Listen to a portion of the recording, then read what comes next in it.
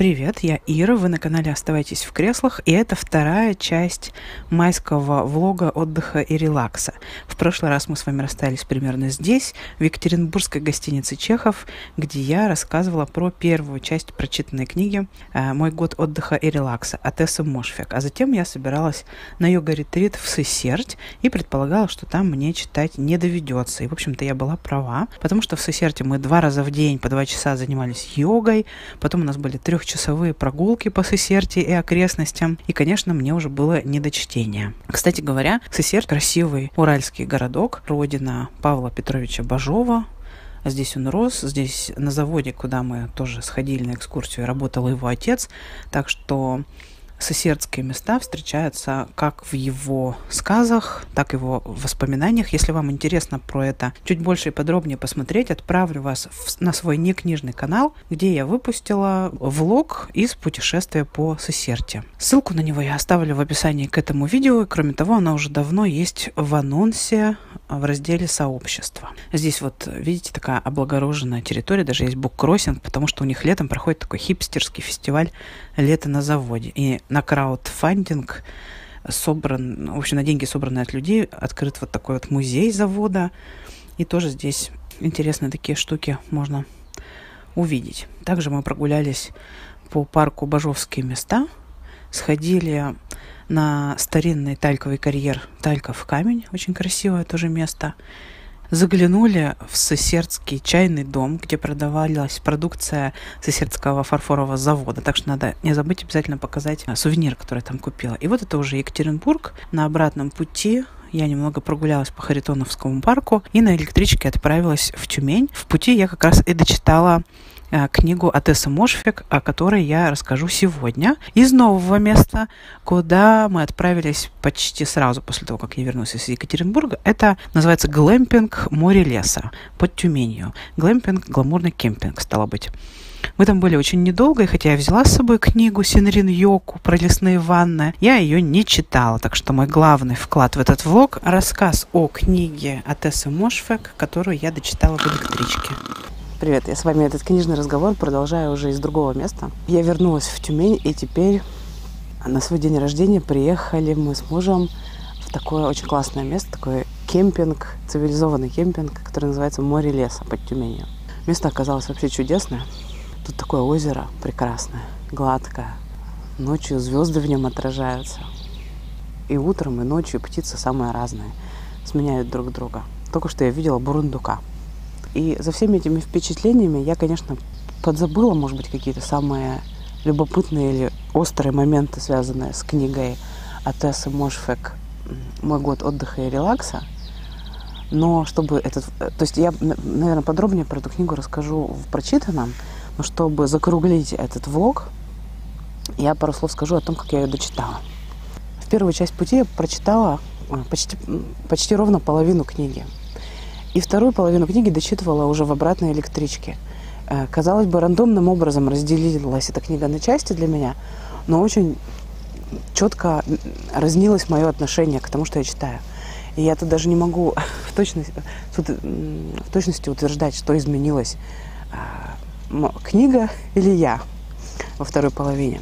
В общем, если первая половина казалась мне очень правдоподобной, а, такой реалистичной, очень больной, и понятной, то во второй половине там уже какой-то был гротеск, что-то такое уже невер... какие-то стали вещи происходить а, не совсем укладывающиеся в ту схему, которую я для себя создала в голове, в тот диагноз, который я героине поставила. Вот, и кончается вообще фантастично, фантастичным хэппи-эндом, можно сказать, в каком-то смысле. Привет. А я снимаю видео Хочешь в моем видео оказаться?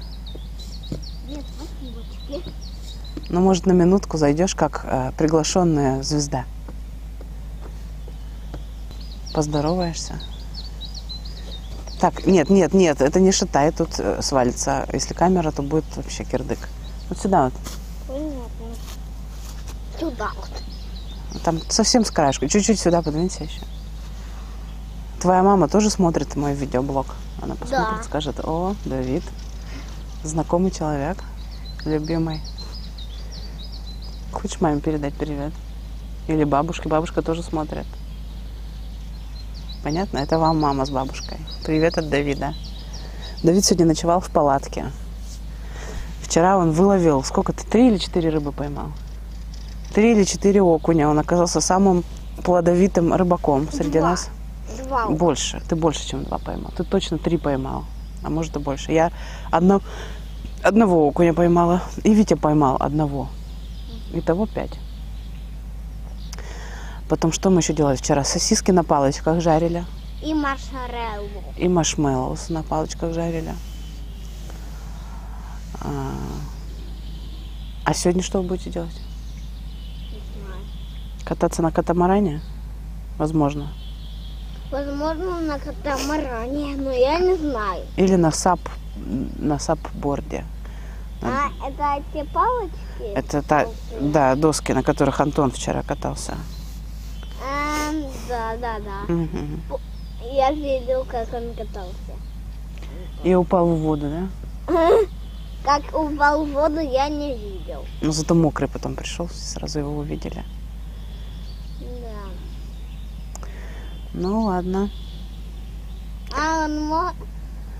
А, а, он тоже к костру пришел, да? Да, греться потом пришел мокрый. А, а, Помню этот момент, я не видела его, когда он падал и когда он был мокрый. Ну, к костру он мокрый пришел. Вот я тогда и увидела, что он мокрый весь. Так, ну что? Даже борода, Даже, наверное, борода тоже была, конечно. а волосы уж точно. Так, ну ладно, я продолжаю свое видео, да, пока. Встретимся попозже. А, в общем, там в какой-то момент звучит такая драматичная линия, связанная с 11 сентября, потому что изначально действие книги пр- происходит в 2000 году и переходит в 2001. Вот. И там все время такие мелькают намеки на будущую трагедию, э, которая затрагивает вроде бы героиню, но так по касательной. Вот. А в конечном итоге кончается все хорошо, как пишут. Да не может такого быть, а, что героиня переставила мебель в комнате и избавилась от депрессии. Но, по-моему, там не совсем так все происходит. Она, конечно, не просто в комнате вещи переставила. Она попыталась полностью обнулить свою жизнь. Ну вот а, насколько это реально, насколько это правдоподобно, а не наркотическая фантасмагория, это я для себя еще, в общем, не решила. В целом эта книга мне была интересна э, до конца, и она мне понравилась как какая-то такая очень больная, проблемная история про современную женщину. Про женщину в, совре- вот, в современной цивилизации, в самом сердце капитализма.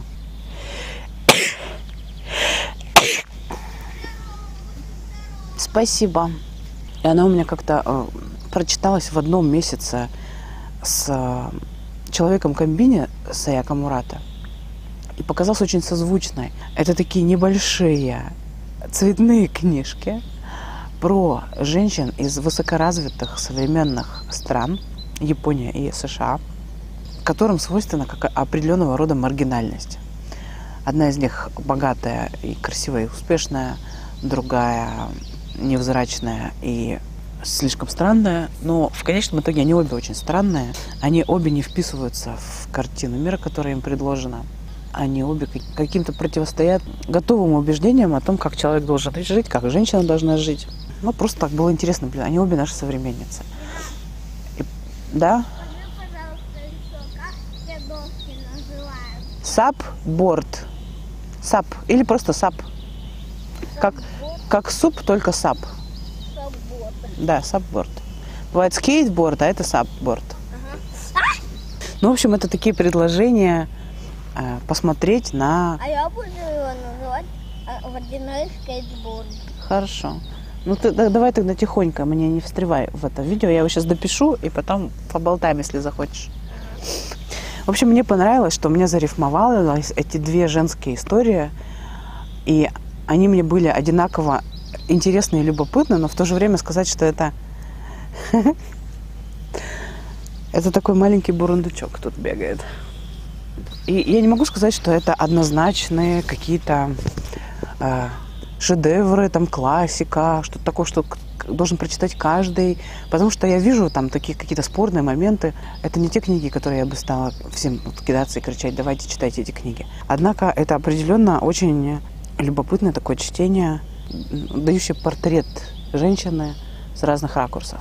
Я э, параллельно с этим еще читаю, э, слушаю «Невидимые женщины», и до того мне эта книга показалась злободневной, что я даже решила купить себе бумажную копию, просто чтобы иметь под рукой справку или какие-то вот факты, потому что там очень много приводится разных фактов из разных областей, которые доказывают, что вообще практически во всех областях современной жизни не учитывается разность между мужчинами и женщинами.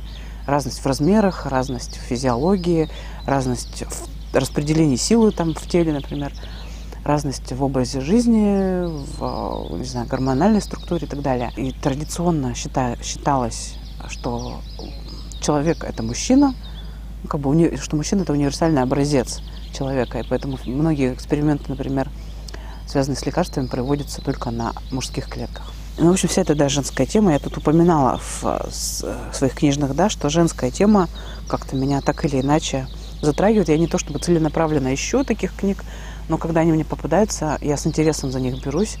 И ну, вот когда невидимых женщин читала, в какой-то момент у меня э, слезы наворачивали на глаза, потому что я понимала, что я сама э, привыкла. То есть это мне не, мне не надо производить революцию среди других людей, среди других женщин или среди мужчин. Потому что я сама привыкла к мысли, что мужчина это универсальный образец человека. И к тому, что ну, как бы ценности и достоинства человека тоже ориентируются, исходя из каких-то чисто мужских качеств. Достиженчества, например, связанных с экономической компетентностью, что ли. Ну, в общем, ладно, это я тоже расскажу в прочитанном. Пока. Очень рада с вами здесь поздороваться и попрощаться. Встретимся в новых вы- выпусках. Надеюсь, вам понравился этот совмещенный влог. У меня такое насыщенное начало мая получилось. Супер каникулы весенние. Это мое лучшее время года. Кстати, сегодня мой день рождения. Ну вот.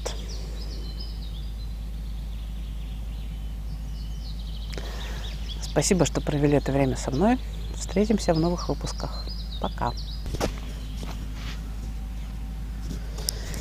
Человеческое ухо наиболее чувствительно к звукам с частотой 2500-3500 Гц. Птичье пение находится как раз в этом частотном диапазоне.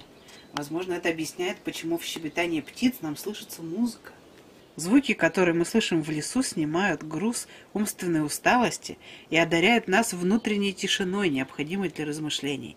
Практикуя синрин-йоку, мы можем ощутить умиротворение и безмятежность, которыми всегда славилась Япония.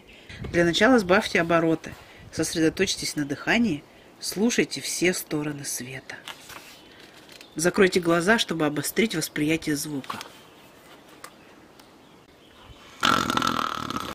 Чуть не забыла показать сувениры. Я подарила уже две чашечки, но здесь вот характерный такой сесердский заварочный чайник. Уральские жительницы мне рассказали, что у их мам и бабушек были чайники такой формы, похожие на самовар и заварочный чайник, который на него ставили. Здесь вот написано «Сысерть». Это первый сувенир, который я ухватила, не надеясь встретить в другой сувенирной лавке в гостинице «Горки». Там я такое прикупила. Дальше мы посетили местную кофейню, а также общественный туалет. Третье место, вообще место для мастер-классов. И, и также место, где можно купить сувениры и обменять книги. И там, решив, что это большая удача, увидеть еще какие-то сувениры, я решила купить чайную пару. Из того, что было, выбрала тоже характерный сосердский узор, такой называется малахитовая лента. Э, поскольку на Урале малахит добывают, в том числе его добывали в Сесерте. Сейчас этого не происходит. Говорят, малахит на Урале весь, который на ярмарках продается, его привозят из Африки.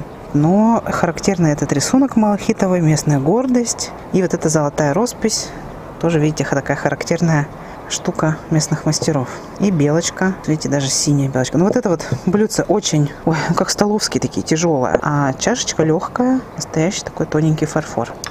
А в третьем месте, в чайном доме, я купила две чашечки, именно сосердские, расписанные золотыми цветочками и ну, тоже очень характерными красивыми такими цветами. Их я подарила и взяла еще вот такое блюдце. Сначала я его просто схватила за то, что она красивая, и уже потом сообразила, что блюдце, во-первых, такое тяжеленькое и без клейма. Я даже не знаю, там были английские пиалы, расписанные местными мастерами, поэтому я уже допускаю все. И вот здесь вот явно с гжелью какие-то ассоциации, но в то же время видна рука, э, мне кажется, сосердских мастеров. Вот эта их любовь к золоту и к меленьким маленьким золотым цветочкам отличает, как я поняла, сосердскую роспись. Вот такие сувениры. Вот. Ну и, конечно, в чайном доме была очень вкусная выпечка, в том числе такой, в том числе такой специалитет черемуховые слойки. Так что, если будете в тех местах, рекомендую попробовать. Ну и по традиции устроим чаепитие. Это чай «Персидские сказки» от Лены с канала Once Upon a Time. Сейчас мы его откроем. Это зеленый чай, ароматизированный лепестками розы, василька, сушеной вишней. Вот такой красивый забыла ложку взять, уже мне лень возвращаться, поэтому вручную.